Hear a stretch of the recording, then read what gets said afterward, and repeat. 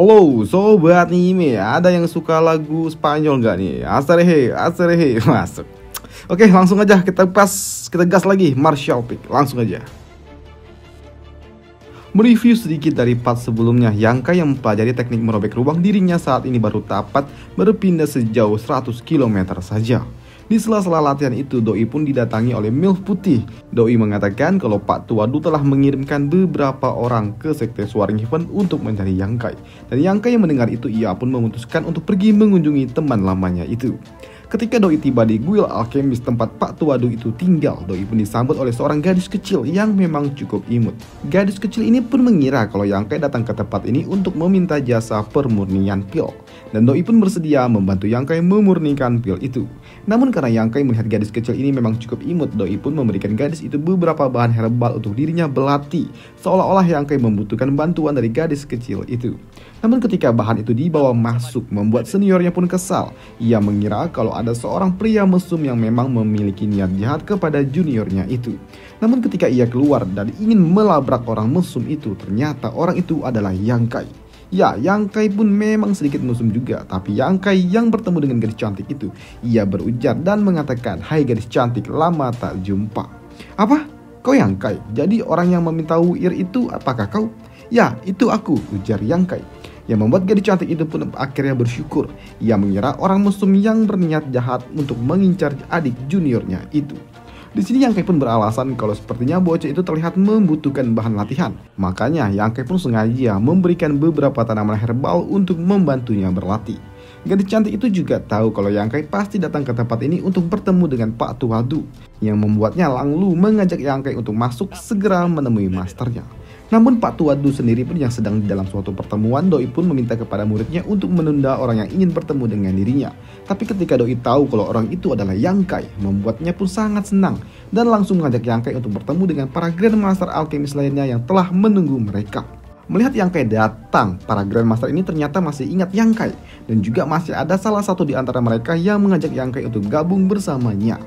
Dan ternyata berkumpulnya para Grandmaster itu di tempat ini karena salah satu dari mereka telah menemukan suatu susu dan roh kuno yang hampir satu tahun tidak terpecahkan. Namun ketika Yangke meminta izin untuk memeriksanya, Doi pun tidak membutuhkan waktu lama. Yangke juga mengukir susu dan roh itu ke dalam bentuk sederhana di sebuah giok yang membuat para master tua itu pun terkejut karena mereka saja tidak dapat memecahkannya tapi bocah bau ini dapat menyelesaikannya hanya dengan sekali lihat saja. Salah satu Grandmaster pun menawarkan sesuatu yang diinginkan oleh Yangkai sebagai hadiah. Tapi di sini hadiah yang diminta Yangkai adalah Doi ingin melihat para Grandmaster ini bertanding alkemis yang membuat Pak Tuadu pun tertawa dan setuju karena ini akan membantu mereka untuk saling berbagi pengalaman.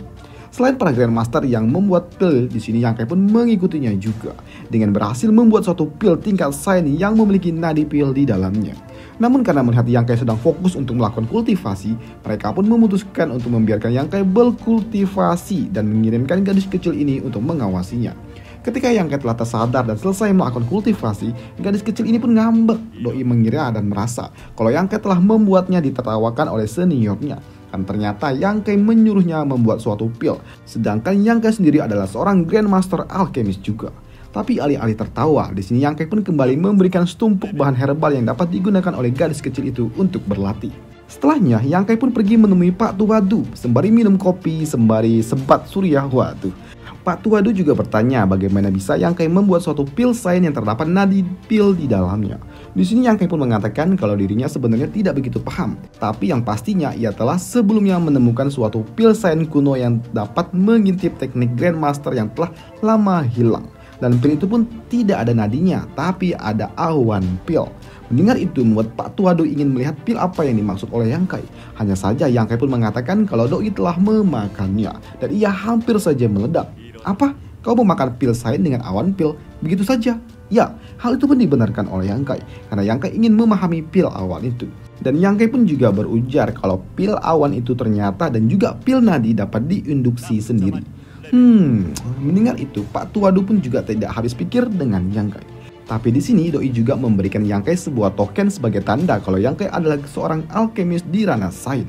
Setelah itu semua, Yangkai pun memutuskan untuk pamit. Tapi sebelum Yangkai pamit, Pak Tuadu pun juga berujar kepada Yangkai untuk tidak berpergian jika memang tidak penting. Karena akhir-akhir ini banyak sekali para kultivator yang mendadak muncul di sekitaran tempat ini. Dan mereka juga sedang merekrut banyak orang. Beberapa orang pun juga datang meminta pil penangkal racun. Dan ketika Pak Tuadu ini bertanya, mereka bilang kalau mereka akan menuju pegunungan salju untuk mencari sesuatu. Mendengar itu, Yang Kai pun terkejut karena Doi tahu pasti orang-orang itu mengincar pria pembawa peti. Dan benar saja, ketika Yang Kai mendekati pegunungan bersalju, Doi pun melihat banyak sekali tenda-tenda perang.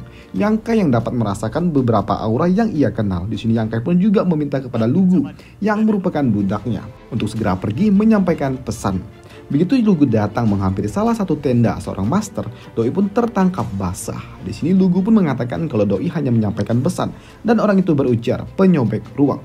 Mendengar itu, Master Wiji ini pun paham dan Doi pun mengikuti arah dari bocah itu untuk bertemu dengan seseorang, yaitu Yang Kai. Dan karena bocah lugu ini telah menjalankan tugasnya, Doi pun mendapatkan hadiah dari Yang Kai.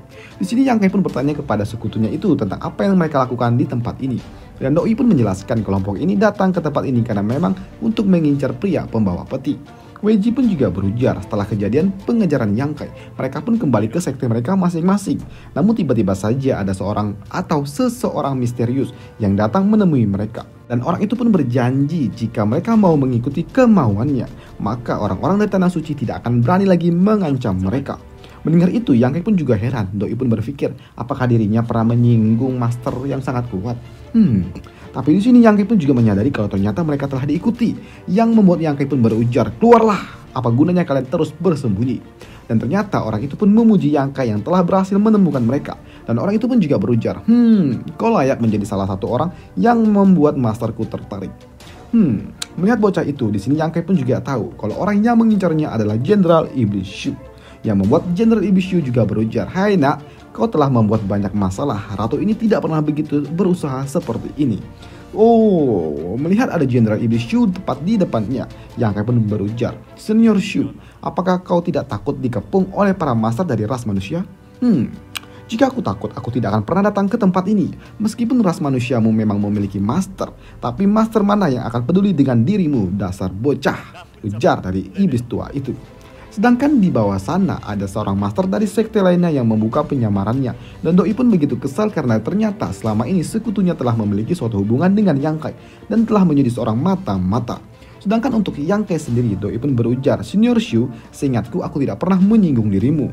Jadi kenapa kau ingin begitu keras menekan diriku seperti ini?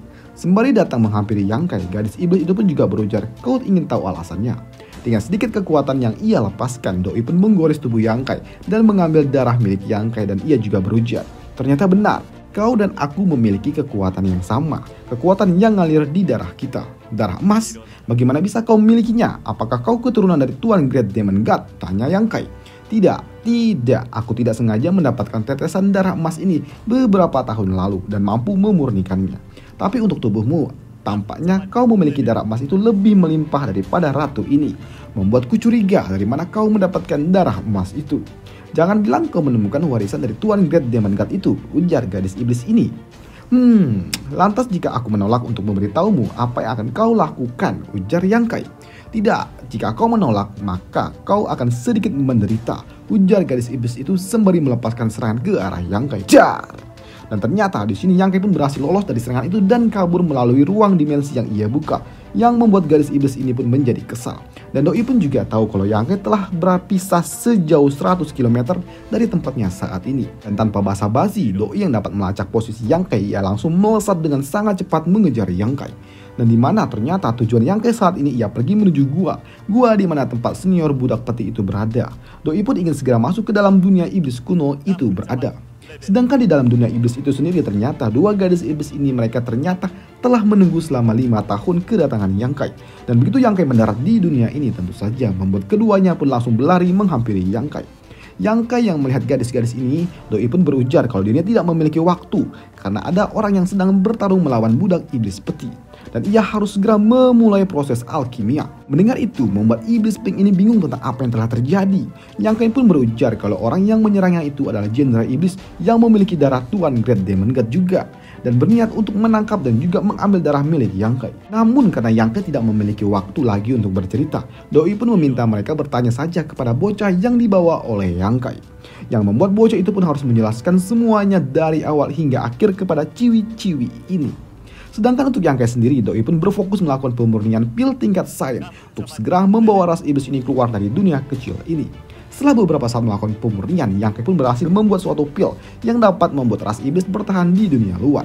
Dan Yang Kai pun meminta kepada iblis pink ini untuk mengatur segalanya yang dibutuhkan oleh ras iblis di dunia luar karena tugas Yang Kai membuat pil telah ia lakukan. Setelah ras iblis melakukan persiapan, mereka pun membangun suatu susunan formasi untuk dan mulai mengumpulkan seluruh ras iblis yang ada di dunia kecil ini. Ketika semuanya telah siap, di sini Hein Fei dan juga iblis Pink mulai membuka suatu portal dimensi untuk segera menyeberang ke dunia luar.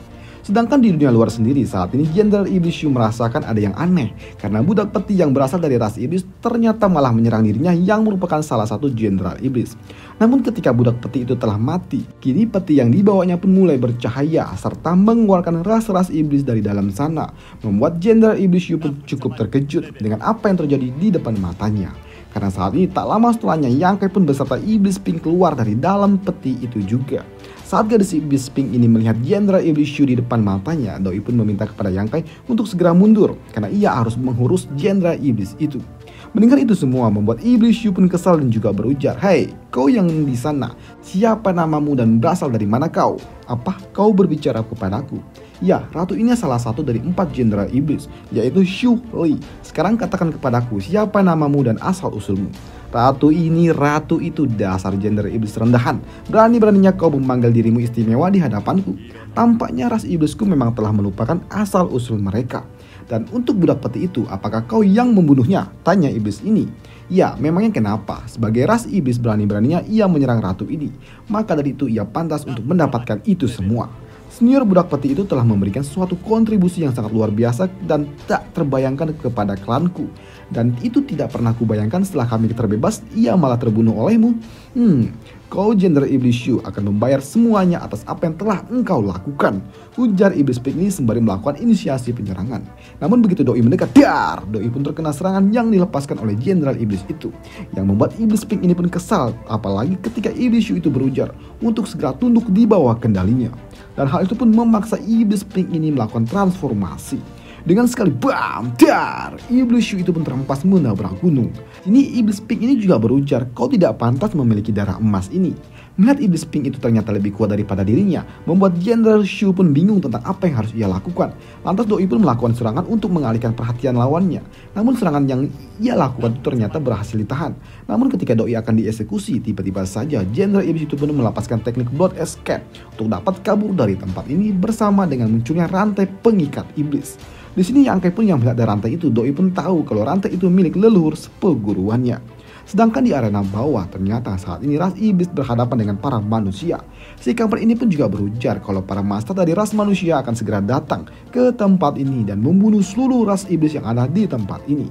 Tapi di sini Yangke pun berujar untuk tidak perlu khawatir karena master yang ditunggu-tunggu itu adalah leluhur dari Soaring Heaven. Ketika master itu datang membuat Pak Tua kampret ini pun meminta kepada master itu untuk segera membunuh para iblis yang ada di tempat ini, termasuk Yangka yang telah bersekutu dengan iblis ini. Melihat itu semua, iblis Pink itu pun meminta kepada Yang untuk segera kabur dan Doi akan berusaha keras untuk menahan master dari ras manusia itu. Tapi di sini Yang pun juga mengatakan santuy aja beb, santuy. Doi datang dan mengucapkan salam yang membuat mereka semua yang ada di tempat ini pun cukup terkejut.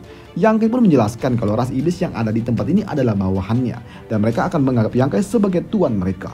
Di sini Yang pun memastikan kalau ras iblis ini tidak akan memberontak. Hmm, karena ras iblis yang ada di tempat ini adalah bawahan Yang Kai. Maka di sini master tua itu pun memutuskan untuk pergi dari tempat ini dan menganggap kalau dirinya tidak pernah melihat ini semua.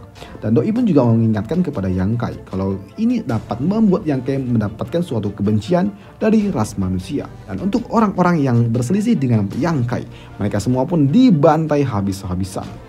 Setelah pembantaian itu, Yang pun mendapatkan harta rampasan perang berupa batu yang cukup misterius. Tapi di sini Yang pun juga tidak tahu batu apa itu, yang membuat bocah ide pun yang memeriksanya meminta Yang untuk mengalirkan truki miliknya. Maka Yang akan tahu batu apa itu. Batu itu yang disebut sebagai batu esensi darah. Dan untuk mencobanya, di sini Yang Kai pun menggunakan salah seorang untuk menyambung tangan salah seorang iblis yang telah putus dan itu ternyata berhasil. Yang pun menyerahkan batu itu kepada Lirong untuk dapat digunakan bila ada ras iblis yang terluka di tempat ini. Dan keesokan harinya, Yang Kai pun membawa seluruh ras iblis menuju tanah suci. Dan di dalam perjalanan, Yang Kai pun merasakan ada seseorang master atau beberapa orang master manusia yang memang datang ke tempat ini setelah mereka merasakan kalau ada ras iblis dalam jumlah yang cukup banyak. Namun para master itu pun sempat berselisih ketika salah satu dari mereka sepertinya yakin kalau manusia dan juga iblis itu sepertinya ingin berbicara dengan mereka karena mereka tidak menutupi pergerakannya. Sedangkan master lainnya pun doi sedikit barbar dan ingin segera membantai para iblis-iblis itu. Namun di sini yang pun yang menghampiri mereka, doi menjelaskan kalau ras iblis yang bersamanya ini adalah ras iblis yang berada di bawah kendalinya dan tidak akan menyerang manusia. Dan hal itu pun dibenarkan oleh Rirong yang bersumpah atas nama Tuan Great Demon God yang membuat para master itu pun cukup terkejut bagaimana bisa ada ras iblis yang berani bersumpah begitu saja. Salah seorang master yang tahu kalau Yang Kai merupakan seorang holy master dan akan membawa mereka para iblis ke tanah suci. Doi pun memperingatkan Yang Kai, jika para ras iblis ini mulai menyerang, maka nama baik dari tanah suci akan rusak. Setelah itu semua, para master ini pun pergi meninggalkan Yang Kai. Sedangkan untuk pimpinan ras monster, Doi pun merasakan energi Yangkai yang datang mendekatinya. Doi pun tidak menduga kalau ternyata Yangkai akan kembali dalam waktu yang cukup singkat setelah perjanjian mereka. Sedangkan untuk Yangkai sendiri ketika Doi mendekati tanah suci, Doi pun kembali dihadang oleh bocah penjaga. Selain bocah penjaga, ternyata kupu-kupu ini pun datang untuk menahan Yangkai. Tapi di sini Yangkai pun santuy aja. Doi pun menyerahkan gadis kupu-kupu itu kepada Lirong. Namun ketika Yangkai akan diserang dari belakang, celup, Lirong pun melakukan serangan kepada gadis kupu-kupu itu. Sedangkan untuk Yangke sendiri, Doi pun melakukan pertemuan kembali dengan pimpinan ras monster. Dan sesuai dengan perjanjian mereka, di sini Yangke pun meminta kembali wilayahnya yang diduduki oleh ras monster itu, tanah suci ini. Dan mereka pun setuju dengan perjanjian itu. Di sini ras monster pun meminta waktu selama satu bulan untuk bersiap-siap pindah. Sedangkan di sisi luar, gadis kupu-kupu itu pun masih mencoba untuk bertarung dengan Lirong. Tapi di sini karena Lirong lebih jago, Doi hanya menghindari serangan-serangan yang dilepaskan oleh gadis kupu-kupu itu hingga Yangkai kembali. Dan pada malam harinya, Yangka yang berada di salah satu tenda, Doi pun dihampiri oleh salah seorang sekutunya. Doi melaporkan tentang status dari sekte yang telah menyerang mereka beberapa waktu lalu. WJ ini melaporkan selama penyerangan yang dilakukan oleh master dari sekte itu, kini sekte itu hanya terdiri dari murid-murid dan juga beberapa murid berbakat. Dan karena Yangkai tidak membutuhkan para murid-murid itu, di sini Yangkai pun meminta kepada Weiji untuk mengurus itu semua dan itu akan menjadikan suatu tambahan atau kekuatan kepada sekte yang dipimpin oleh bocah ini. Setelah pertemuan itu, Yangkai pun mencoba berlatih dan membuka suatu esensi roh atau memori yang dimiliki oleh master yang telah ia eksekusi beberapa waktu lalu. Di dalam ingatan para master itu, Yangkai pun melihat ada suatu lorong dimensi di mana sekte tersebut berada dan lorong waktu itu ternyata terhubung oleh Star Sky. Namun dalam prosesnya itu, tiba-tiba saja Yangkai pun dikejutkan dengan kedatangan gadis iblis yang melaporkan kalau ada seseorang yang sangat mencurigakan berputar-putar di sekitaran tempat mereka. Di sini Yang Kai pun sempat berpikir apakah itu perbuatan dari pimpinan ras monster. Namun ketika Yang Kai mendengar kalau orang itu memiliki dead key, membuat Yang Kai pun memutuskan keesokan paginya untuk pergi menemui atau memeriksa itu semua. Dan ternyata orang itu adalah saintis Nan. Namun dengan bantuan dari Lirong dan juga Han Fei, di sini Yang Kai pun berhasil menangkap Bibina dan juga menyegelnya. Setelah mendapatkan bibinan dan satu bulan kemudian, Yang Kai pun memutuskan untuk kembali ke Tanah Suci. Dan setibanya di Tanah Suci, Yang Kai pun bertemu dengan Chai Di, si gadis kupu-kupu itu. Tapi di sini Chai Di pun sungguh jutek kepada Yang Kai. Doi hanya mengatakan kalau dirinya mengucapkan terima kasih mewakili pimpinan ras monster. Dan Yang Kai pun akan diterima bila Yang Kai mengunjungi ras monster itu.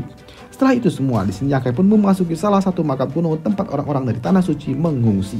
Dan kita kembali bertemu dengan saintis Lan ini, si gadis imut ini. Dan sesuai alur cerita martial pit kita di sini dan sampai jumpa di video selanjutnya. Dan untuk di part selanjutnya, Yangkai akan membuka jasa pemurnian pil alkemis dan juga Yangkai akan pergi ke dimensi lainnya bersama Lirong dan juga pimpinan dari ras monster. Dan sampai jumpa di video selanjutnya. Bye!